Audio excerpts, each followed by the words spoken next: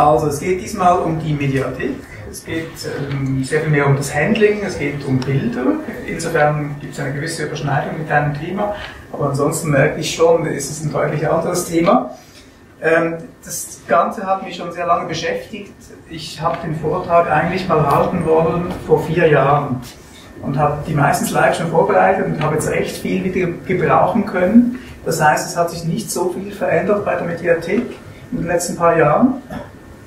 Das könnte sich ändern, weil, wie wir wissen, wir sind jetzt in der Phase 3 von des Gutenberg-Projekts. Das bedeutet, ähm, dass das Backend in dem Sinn ähm, optimiert wird. Insofern ist das jetzt die letzte Gelegenheit, wo ich diesen Vortrag überhaupt noch halten kann. Und deshalb mache ich das. Die Mediathek, so sieht sie aus, habt ihr bestimmt alle schon gesehen, wenn ihr irgendwann mal mit WordPress gearbeitet habt. Es gibt diese Ansicht, ich nenne sie die Kachelansicht und man kann dann hier oben auch umschalten und dann gibt es als zweite Ansicht die Listenansicht. Und jetzt fängt so die, bereits die erste Inkonsistenz an, würde ich mal sagen, weil wenn man jetzt auf ein Bild klickt, dann kommt es darauf an, in welcher Ansicht das man war, weil wenn man in der Kachelansicht war, dann sieht das, die Detailansicht eines Bildes so aus. Und wenn man aber in der Listenansicht war, dann sieht sie so aus. Ist jetzt nicht total verschieden, das sind letztendlich sind das sehr ähnliche Informationen und ähnliche Funktionen auch, aber es ist nicht genau dasselbe und das, das muss man irgendwie mal verstanden haben. Beginnen wir mal da, wo man eigentlich immer beginnt, weil am Anfang ist die Mediathek leer. Wir laden mal was hoch.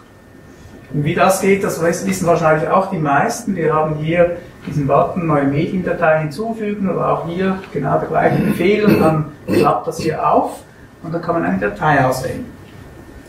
Und das erste Problem, das man irgendwann mal haben wird, ist dieses hier. Das ist jetzt ganz klein, aber da steht maximale Dateigröße für Uploads ist 16 Megabyte. Und die Zahl, die kann variieren, das hängt eben von der Einstellung ähm, ab, die der Hoster vielleicht gemacht hat oder die ihr gemacht habt oder was auch immer, aber das kann ein Problem sein. Es muss kein Problem sein, weil ein gutes Bild für eine Webseite ist nicht 16 Megabyte groß, sondern ist vielleicht 100 Kilobyte, 200 Kilobyte, aber sicher Kilobyte und nicht Megabyte. Aber vielleicht hat man mal ein großes Video, man hat ein fettes PDF oder irgendeine große Datei, die da hoch muss und wenn die Standardeinstellung, ich glaube, das ist die Standardeinstellung 16 Megabyte, das kann sein, dass es dann nicht mehr reicht. Was macht man dann? Dann googelt man und was man dann häufig findet, das ist so ein bisschen Code oder Konfigurationseinstellungen und das Zentrale ist dieser Parameter Upload Max File Size.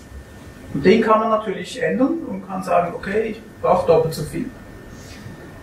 Ähm, jetzt sieht man schon, da hat es noch ein paar andere Parameter und die kommen nicht von ungefähr, weil die hängen so ein bisschen zusammen.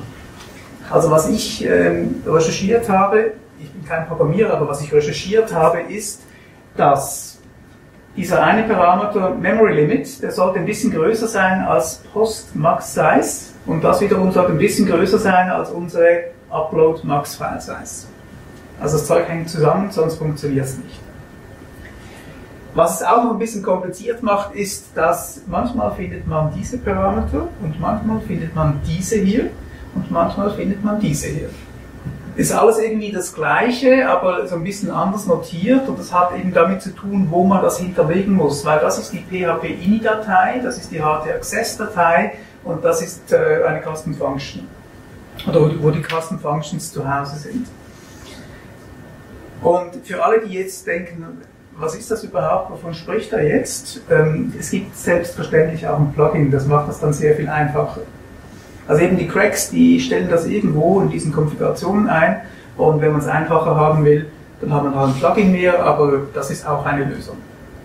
Und was ich auch herausgefunden habe, es funktioniert je nachdem, welchen Hoster das ihr habt, funktioniert das oder vielleicht nicht. Also das ist so eine der Herausforderungen, würde ich sagen, im Zusammenhang mit WordPress oder mit der Mediathek. Das zweite Problem, das man irgendwann haben wird, ist, dass man so eine Fehlermeldung bekommt. Sie sind leider nicht berechtigt, diesen Dateityp hochzuladen. Und im konkreten Fall ist es ein SVG, was ein ganz tolles Format ist und darüber werde ich auch irgendwann mal einen Vortrag machen, weil man kann so viel machen damit. Ähm, aber WordPress blockt das. Und WordPress blockt das, weil ein SVG kann unter Umständen auch Code enthalten, den man ausführen kann. Also da können quasi Viren drinstecken. Was macht man da? Ähm, zuerst mal konsultiert man die Liste der erlaubten Dateitypen. Das ist eine in dem Sinne offizielle Liste, die kann man hier unten, kann man die nachschauen. Und da sind gewisse Bilddateitypen erlaubt, gewisse Dokumenttypen, Audio und Video. Was ich dann gemerkt habe, und deshalb ist das hier rot, es gibt dann auch gewisse Dateitypen, die sind gar nicht auf der Liste und trotzdem kann man sie hochladen. Also zum Beispiel das WebP-Format, das sehr wichtig ist, davon sprechen wir nachher noch, oder das, ich weiß noch nicht, Hake oder so, das ist so eine, ich glaube, eine Apple-Sache, also das iPhone ähm, fotografiert oder speichert die Fotos original in einem Hake-Format. Es macht eigentlich keinen Sinn, das hochzuladen in WordPress, weil eine Website kann das nicht darstellen, aber vielleicht gibt es mal einen Grund, dass man das möchte, also man kann es. So, und jetzt, wie machen wir das möglich, dass man SVG hochladen kann? Entweder auch mit ein bisschen Code, das man in der Functions PHP platziert, oder es gibt Plugins, die machen das sehr gut, zuverlässig, die sind auch sehr populär. Ich glaube, das ist eine relativ einfache Methode, das zu lösen. Und was man auch noch sieht, und ich will das so nicht vertiefen, hier sagt man eben, SVG soll erlaubt sein. Das kann man grundsätzlich natürlich auch mit anderen Dateitypen machen, wenn man jetzt irgendwie das Bedürfnis mal haben sollte. Gut, jetzt haben wir also mal was hochgeladen. Jetzt gehen wir mal mit einem FTP-Client auf den Server und schauen mal, wie sieht das überhaupt aus auf diesem Server. Und was man dann finden wird, ist eine Verzeichnisstruktur, die sieht irgendwie so aus. Also es gibt auf der untersten Ebene dieses WP-Content da ist alles drin, was nicht in dem Sinn zum WordPress Core gehört, sondern da sind unsere Plugins drin und unsere Themes und eben auch der Ordner Uploads. Da ist alles drin, was Sie uploaden. Und der ist normalerweise so strukturiert, also zuerst nach Jahren und dann nach Monaten gegliedert. Und das kommt halt daher, dass WordPress war mal ein Blogsystem. Und da ein Blog ist ja quasi ein Tagebuch, da spielt also das Datum, die, die, die, das Upload-Datum eine wichtige Rolle. Deshalb hat man das so gemacht. Ich finde es eigentlich eher mühsam, weil wenn ich dann mal auf den Server gehe und ich suche ein ganz bestimmtes File, dann muss ich in jeden Monat reingehen, wenn ich nie weiß, wann ich es hochgeladen habe. Und das ist so, ja, ist, ist auch so eine Altlast, würde ich sagen. Kann man aber noch nicht deaktivieren. Ja, ja. Selbstverständlich. ja, darauf will ich hinaus. Bei den Einstellungen im Bereich Medien gibt es einen Haken und den kann man rausnehmen, das mache ich standardmäßig. Bilder kann man selber ähm, kreieren, fotografieren, ähm, designen, gestalten, illustrieren, wie auch immer. Man kann sie aber auch von anderswo beschaffen. Und WordPress hat so, ein, oder die Mediathek hat so ein paar kleine Mechanismen, ähm, wie man das einfacher machen kann. Zum einen, jetzt sind wir auf einer Seite oder einem Beitrag und wenn wir jetzt hier ein Bild einfügen, dann gibt es die Möglichkeit, das Bild hochzuladen, habe gesehen, ich kann in die Mediathek gehen und ein Bild nehmen, das ich schon habe oder ich kann es von einer URL einfügen. Wenn jetzt also irgendwo in der Wikipedia zum Beispiel, habe ich ein Bild gesehen, das möchte ich verwenden, dann muss ich das nicht zuerst runterladen aus der Wikipedia und dann wieder hochladen auf, mein, auf meine Website, sondern ich kann einfach die URL hier einfügen und dann wird das eingefügt. Es ist einfach wichtig zu verstehen ist, in diesem Moment ist das Bild zwar auf meiner Website dargestellt, aber es ist nicht gespeichert auf meiner Website. Das heißt, wenn jetzt auf der Wikipedia das Ding verschoben, umbenannt, äh, gelöscht wird, dann habe ich hier ein Loch. Und deshalb ist es ganz wichtig, es gibt hier einen Button bei all diesen Bildern, die eben von extern eingebettet sind, gibt es äh, diesen Button und der heißt externes Bild hochladen. Einmal klicken, dann wird das im Hintergrund in meine Mediathek verschoben und dann quasi, dann habe ich es bei mir gespeichert, lokal. Das empfiehlt sich unbedingt. Eine weitere Möglichkeit, Bilder zu bekommen, das ist äh, das relativ neue Fotoverzeichnis von WordPress auf WordPress.org. Das ist meines Wissens nicht irgendwie direkt angebunden an WordPress, aber man kann da hingehen, kann sich ein Foto suchen, das runterladen und dann wieder hochladen. Und das sind doch immerhin 15.000 frei benutzbare Bilder. Die sind nicht alle ganz toll, muss ich sagen. Das ist nicht irgendwie ähm, iStock-Foto für Arme oder so, sondern das hat seine sehr äh, unterschiedliche Qualität, aber es sind frei nutzbare Bilder, man kann sie auch für kommerzielle Zwecke nutzen, was vielleicht noch wichtig ist und sicher ein guter Starting Point. Und dann gibt es noch was Drittes, das ist wieder integriert in WordPress bis zu einem gewissen Grad, das ist Openverse. Und Openverse ist eine, eigentlich eine Suchmaschine für frei verfügbare Bilder. Und das WordPress-Projekt hat diese Suchmaschine, ich glaube, das war früher die Creative Commons-Suche, irgend sowas, die haben das übernommen und insofern integriert, dass wenn ich jetzt ähm, eben nicht, also ich bin auf einer Seite, möchte ein Bild einfügen, aber ich gehe dann nicht auf Blöcke und sage, ich will einen Bildblock, sondern ich gehe auf Medien und dann gibt es diesen Eintrag Openverse und dann bin ich quasi direkt mit dieser Suchmaschine verbunden. Und dann kann ich hier sagen, ich suche Steam Locomotive und dann kommen diese Treffer. Und wenn mir eins gefällt, ich klicke es an und es wird direkt in die Seite eingefügt. Sehr praktisch. Und auch das müssten eigentlich frei nutzbare Bilder sein, aber vielleicht muss man da im Einzelfall dann nochmal ein bisschen genauer schauen. Bildgrößen, das ist ein tolles Thema. Nein, es ist ein langweiliges Thema, aber es ist ein wichtiges Thema. Ähm, wenn wir mal auf die Detailansicht gehen eines Bildes in der Mediathek, dann haben wir oben ein paar Informationen und unter anderem da relativ klein die Abmessungen, also Breite mal Höhe in Pixel. Und das ist in diesem Fall 2078 mal 2560. Die zweite Zahl können wir uns mal merken, die brauchen wir dann noch. Ähm, und wenn ich jetzt aber wieder mit meinem FTP-Programm auf den Server schaue und, und, und, schaue, was liegt da eigentlich rum, weil ich ein Bild hochgeladen habe, dann bin ich wahrscheinlich überrascht, weil unter Umständen sieht das so aus. Also hochgeladen habe ich nur das erste, das gelbe, und alle anderen hat WordPress automatisch generiert. In dem Moment, wo ich das hochlade. Deshalb dauert es manchmal ein bisschen länger bei WordPress, wenn man ein Bild hochlädt, weil er im Hintergrund das macht. Und jetzt, was ist das? Ähm, vielleicht mal das erste, das Scaled. Das gibt es nicht immer. Das gibt es immer dann, wenn wir ein Bild hochladen, das eigentlich eine zu große Auflösung hat. Was zu groß ist, das können wir nachher noch besprechen, aber das ist immer ein Zeichen, wenn ihr das seht, dann habt ihr wahrscheinlich ein bisschen übertrieben. Und dann gibt es ganz viele andere Größen, das kann variieren, das sind nicht immer dieselben, das kommt sehr darauf an, wie euer WordPress aufgesetzt ist, welches Theme das ihr benutzt und so weiter. Aber da werden noch weitere Größen gerechnet. Das sind also Größen, sind immer kleinere Größen, also insofern ein schwieriges Wort. Ähm, also WordPress rechnet die Bilder auf verschiedene kleinere Formate runter. Gut, schauen wir das mal ein bisschen genauer an. Wo, woher kommt das? Wie kann man das einstellen? Brauchen wir das überhaupt? Das ist vielleicht noch ein wichtiger Punkt, oder? Muss ich überlegen, jedes Mal, wenn ich ein Bild hochlade, erstens, es braucht mehr Zeit, braucht mehr Rechenleistung, weil er muss es immer generieren. Und zum Zweiten, das belegt an Speicherplatz. Das liegt auf meinem Server und das wird bei jedem Backup, das ich mache, wir machen alle Backups, oder? Machen wir das? Hm. Wäre auch mal ein Thema ähm, wird das mit in das Backup eingenommen. Und unter Umständen kann das Backup riesig werden, weil wir hier ganz viele Größen jeweils rechnen und eigentlich brauchen wir es gar nicht. Zum einen, ich habe gesagt, wenn wir ein Bild äh, zu groß hochladen, dann wird es runtergerechnet auf Scaled. Und das ist ein, eine Einstellung, der Parameter heißt Big Image Size Threshold. Und der ist eben eingestellt auf diese 2560 Pixel, die wir vorher gesehen haben. Also diese Einstellung sorgt dafür, dass ein Bild, das wir hochladen, immer auf ähm, so runtergerechnet wird, dass es nicht höher und nicht breiter ist als diese 2560 Pixel. Das kann man, wenn man das möchte, kann man das ändern. Ich kommentiere das jetzt nicht im Detail, wie man das macht, aber grundsätzlich, man könnte das ändern, aber ich glaube, es gibt eigentlich keinen Grund, das zu ändern.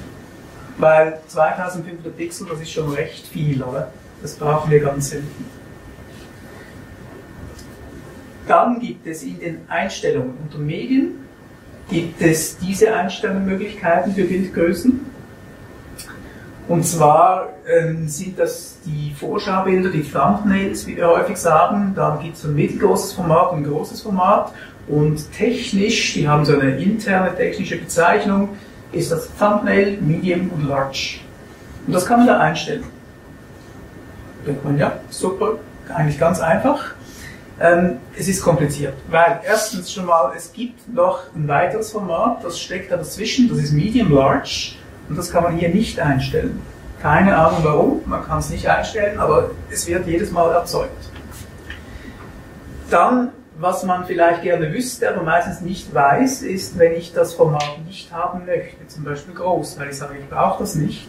Wie kann ich das wegmachen? Hier sehe ich nicht, dass ich es wegmachen kann, aber wenn man weiß, dass man es einfach auf Null setzen muss, und dann wird es nicht mehr gerechnet, dann hat man wieder was gelernt.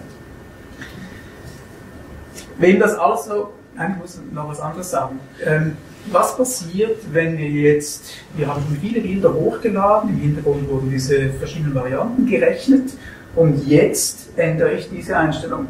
Was passiert dann? Genau, nur die neuen haben dann die entsprechenden neuen Formate. Was mache ich dann? Da gibt es ein Plugin. Das heißt Regenerate Thumbnails und das geht quasi durch alles durch und rechnet alles nochmal neu mit den aktuellen Einstellungen. Sehr ein populäres Plugin, ähm, das man nur empfehlen kann. Wenn ich jetzt aber noch weitere Bildgrößen möchte, warum auch immer, ich will das nicht vertiefen, aber vielleicht sage ich doch, äh, vier Größen sind mir nicht genug, ich noch eine, eine ganz bestimmte, die vielleicht ein, ein bestimmtes Seitenformat hat oder irgend sowas, dann kann ich das auch machen. Ähm, es gibt auch Themes und Plugins, die das machen. Also ein Theme häufig bringt gewisse Formate mit.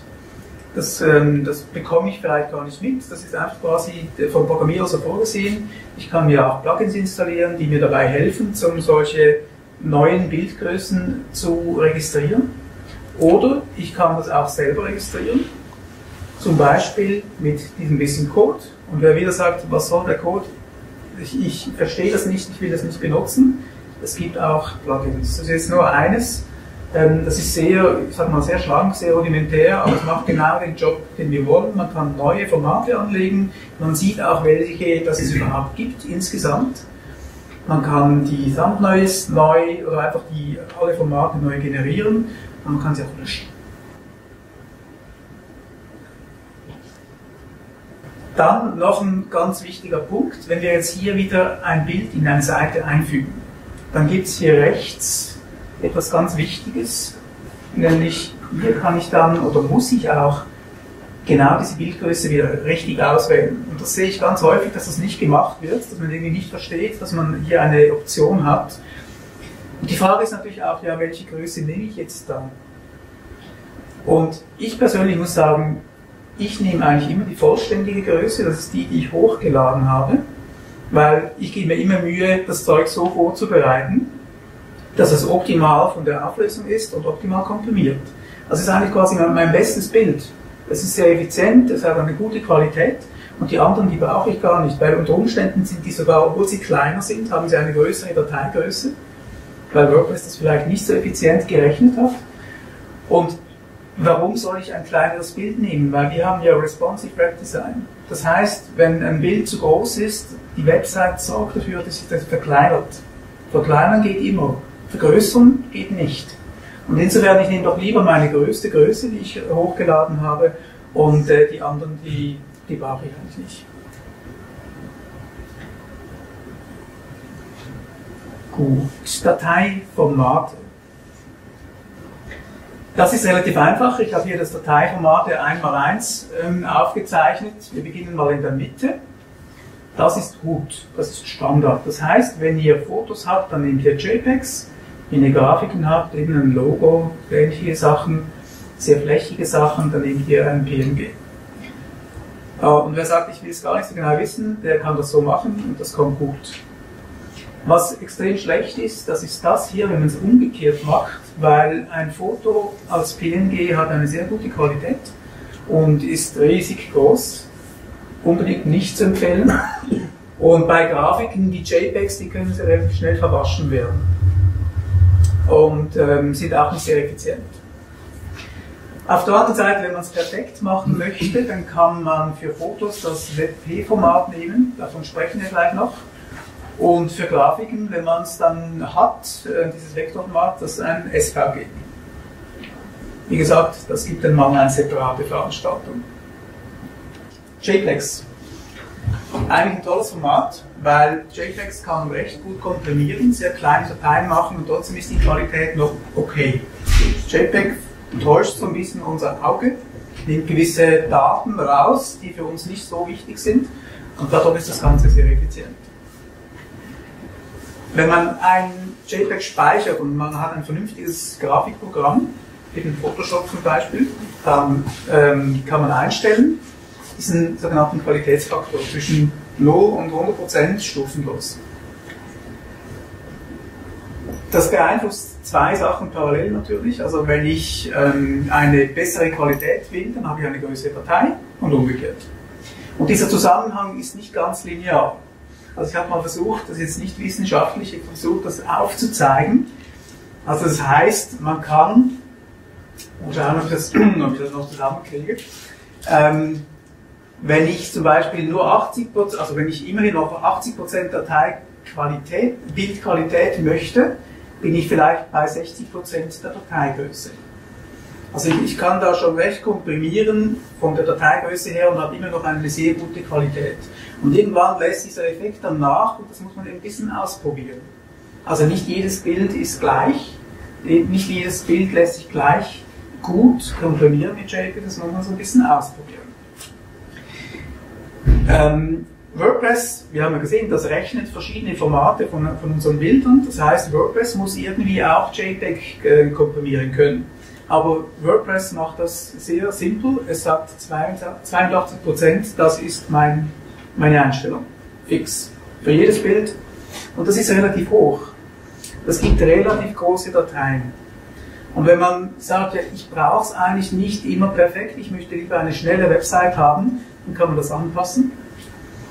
Gibt es auch wieder so eine, eine Filtereinstellung, die man hier an, äh, im Detail sich äh, anschauen kann.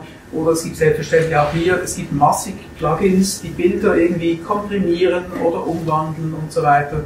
Da kann man sich ähm, was suchen. Ich habe jetzt da nichts herausgesucht. Gut, und wie ist es mit WebP?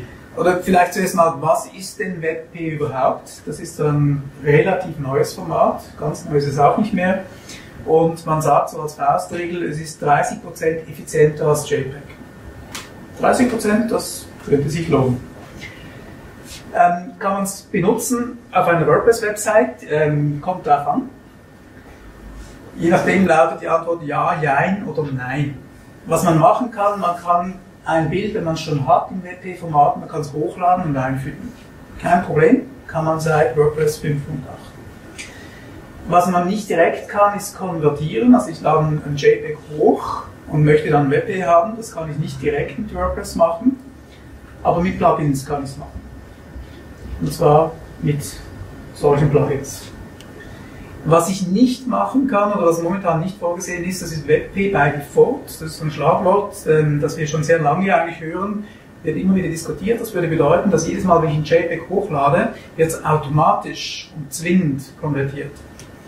Das hat man zweimal, wollte man das einführen und hat es dann wieder fallen gelassen, ähm, aus verschiedenen Gründen, unter anderem, weil man gesagt hat, wenn man das jetzt macht, dann wird auf der ganzen Welt wird der Speicherbedarf in den Himmel schießen weil ganz viele Bilder werden immer noch zusätzlich umgerechnet und die Hoster dieser Welt werden verzweifeln.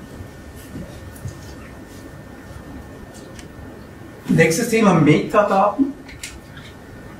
Das sind diese hier. Habt ihr sicher auch schon gesehen, wenn ihr mal gearbeitet habt mit ähm, der Mediathek. Es gibt im Prinzip vier und eines davon ist besonders wichtig. Das sind nämlich diese Alternativtexte, das hier. Das wird gebraucht zum einen ähm, Google schaut darauf, also für die Suchmaschinenoptimierung würde ich sagen, ist es wichtig, oder? Ja. Ich würde es mir widersprechen, wenn es nicht so wäre. Und zum anderen aber auch für Accessibility, also für Personen, die sehbehindert sind, die sich die Webseiten vorlesen lassen. Ähm, denen wird vorgelesen aus diesem Alttext heraus, was das Bild zeigen würde, wenn sie sehen könnten.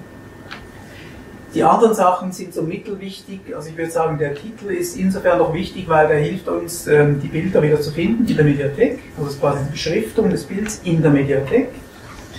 Und die anderen Sachen sind so sind mäßig wichtig. Die Anhangseite, davon spreche ich noch, das ist so ein, ein komisches Relikt, das auch äh, in Zukunft seine Bedeutung verlieren wird. Also, wo findet man das? Ähm, diese Metadaten, die kann man hier pflegen, in der Detailansicht. Ähm, in der anderen Detailansicht ähm, gibt es hier den Titel, weisen hier unten, aber ist eigentlich genau das gleiche. Und auch jedes Mal, wenn wir ein Bild in eine Seite einfügen, haben wir auch wieder die Gelegenheit, diese Metadaten zu pflegen. Das heißt, ich kann jedes Mal, wenn ich ein, ein, dasselbe Bild wieder irgendwo einfüge, kann ich diese äh, Angaben verändern. Also ich kann quasi jedes Mal, wenn ich dasselbe Bild einfüge, kann ich unterschiedliche Alttexte nehmen, wenn ich das denn möchte. Macht vielleicht nicht immer Sinn, aber grundsätzlich kann ich das. Die Anhangseiten, von denen ich gerade gesprochen habe, ähm, was ist das? So sehen sie ungefähr aus. Also da ist relativ wenig dran. Die haben einen Titel, dann natürlich das Bild. Jedes Bild hat seine Anhangseite. Dann hat es hier die Beschreibung und vor allem ein fettes Kommentar.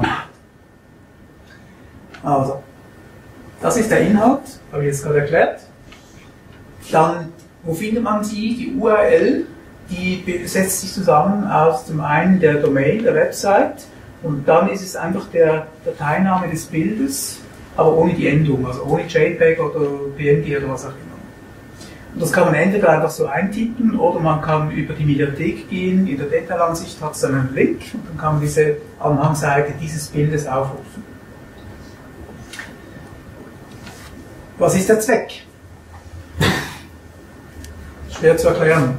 Also es gibt gewisse Fälle, wo das, glaube ich, noch äh, einen Sinn machen kann. Aber in der Regel macht es keinen Sinn. Und ich denke, es gibt ganz viele Websites auf dieser Welt, die haben so eine Anhang, also die haben Anhangseiten, sind ja ganz viele, für jedes Bild eine. Und die Leute wissen gar nicht, dass sie das haben. Und das ist eigentlich eher ein Nachteil, weil das Kommentarfeld, das ist super für alle Spammer, die können da reinschreiben. Und Google, wenn Google diese Seiten findet, dann sagt Google, ja, da hat es fast keinen Inhalt, das Thin Content, das ist auch nicht unbedingt optimal, oder? Mhm.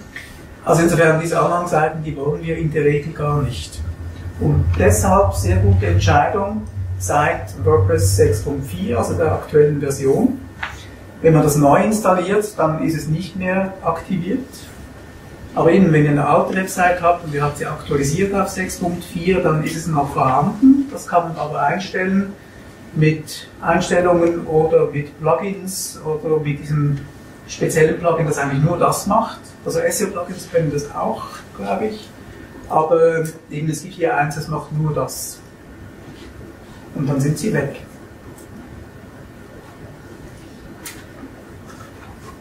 Bilder organisieren, umbenennen, ersetzen, löschen. Das ist alles ein bisschen Bildmanagement und da muss ich sagen, da habe ich die meisten Schmerzen immer, weil ganz viele Sachen nicht gehen, die ich gerne machen würde. Und aber es gibt für fast alles eine Lösung. Wenn man mal schaut auf der Detailseite, was kann man da überhaupt machen? Also eben, man kann die Metadaten pflegen, das haben wir schon gesehen, aber sonst, ich kann was, die Datei herunterladen, super, ich kann das Foto endgültig löschen, auch eine tolle Geschichte, aber das wäre es dann schon. Bild bearbeiten, das schauen wir später noch an, aber ansonsten, man kann da nicht viel machen. Ich kann keine Dateinamen umbenennen, ich kann zum Beispiel auch keine Kategorien vergeben, warum eigentlich nicht? Bei allen Seiten, bei allen Posts kann ich Kategorien vergeben und Schlagwörter vergeben, aber hier kann ich es nicht.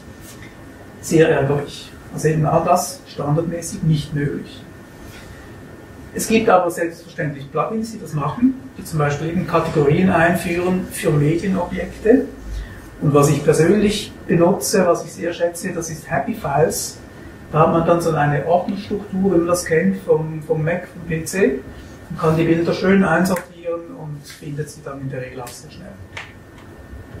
Das ist kostenpflichtig im Gegensatz zu den meisten Plugins, die ich gezeigt habe, aber man ist nicht wahnsinnig teuer. Bilder umbenennen, das ist auch sowas. Und das macht man ja vielleicht mal, weil man hat irgendwie gemerkt, dass die, das Prinzip, wie man Bilder benannt hat, ist nicht so optimal oder man hat einfach mal Bilder aus, aus der Kamera hochgeladen, da haben sie nur eine Nummer und man möchte das quasi mit einem sprechenden Dateinamen versehen. Auch wieder für SEO ist das ein wichtiges Thema. Aber standardmäßig ist das mit WordPress nicht möglich. Allerdings, there is a plugin for that. Nächster Punkt. Bilder global ersetzen. Was ich damit meine ist, ich habe ein Bild in der Mediathek und ich habe es schon ein paar Mal benutzt auf meiner Website. Aber jetzt merke ich, es ist nicht optimal und ich möchte es mit einer überarbeiteten Version oder auch einem anderen Bild ersetzen. Und zwar möchte ich nicht an jeder einzelnen Stelle meiner Website das Bild austauschen müssen, sondern ich möchte einfach das Bild in der Mediathek ersetzen. standardmäßig nicht möglich, aber es gibt ein Plugin. Und das heißt so. Was natürlich geht, als Randbemerkung, ein einzelnes Foto, wenn ich es mal eingebaut habe, ersetzen. Das geht gut, oder? Da hat es einen Button, der heißt sogar ersetzen, aber das meine ich nicht, sondern ich meine global ersetzen. Das auf der ganzen Website wird das dann geändert. Was man vielleicht auch noch möchte, unbenutzte Bilder finden, heißt, ähm, wenn ich merke, ich habe ich hab wahnsinnig viele Bilder, aber einige brauche ich gar nicht, wie kann ich die finden und dann wahrscheinlich löschen? Standardmäßig nicht möglich, aber es gibt ein Plugin, das das macht, wobei da würde ich jetzt sagen, macht unbedingt ein Backup vorher. Bin nicht ganz sicher, ob dann ähm, diese Erkennung von, ob ein Bild tatsächlich benutzt wird, ob die immer ganz zuverlässig ist. Man könnte ja meinen, wenn man in dieser Wissenansicht ist von der Mediathek, da hat ja eine Spalte, hochgeladen zu. Und da steht jetzt nicht verknüpft. Ah, super, kann ich löschen, oder? Weit gefehlt. Das hat überhaupt nichts damit zu tun. Also nicht verknüpft bedeutet nicht nicht benutzt. Das bedeutet nur, dass wir dieses Bild direkt in die Mediathek geladen haben und nicht in, zusammen bei der Bearbeitung eines einzelnen Artikels. Ich weiß nicht genau, warum es das überhaupt braucht. Ich finde das sehr verwirrend, aber eben das heißt nicht, dass das Bild nicht benutzt wurde. Duplikate finden, genau die gleiche Geschichte, standardmäßig nicht vorhanden, es gibt ein Plugin, aber macht ein Backup. Ja, zum Schluss Bilder bearbeiten, also quasi Photoshop, aber halt im WordPress. Und jetzt denkt ihr, ja, das geht sicher auch nicht. Hm, ein bisschen geht's. Zum einen, man kann, wenn man ein Bild einbaut, und das ist nicht nur eine Bildbearbeitung, sondern es ist ein Filter, man kann so einen Duotone-Filter anwenden. Ich weiß auch nicht, die WordPress-Welt, die spinnt irgendwie auf Duotone, die findet das wahnsinnig toll. ähm, ja, man kann das mal machen. Ähm, und das geht relativ einfach. Ich kann einfach ein Bild einsetzen und dann im Toolbar gibt es die Möglichkeit, eine, eine Farbabstufung auszuwählen. Ist quasi wie schwarz-weiß, einfach nicht von, von schwarz bis weiß, sondern von einer Farbe bis schwarz. Und zum Zweiten, ähm, ist nicht dramatisch ähm, umfangreich, aber immerhin, man kann wirklich die Bilder bearbeiten, man kann sie zuschneiden. Also wenn, wenn irgendwie der Ausschnitt zu groß ist, kann ich hier was abschneiden. Ich kann sie skalieren, nicht vergrößern, aber verkleinern. Und ich kann sie drehen. Das ist dann das Menü. Mehr ist da nicht, aber ich muss sagen, für eine kleine Korrektur ist das schon ganz anständig. Und das war's. Fragen?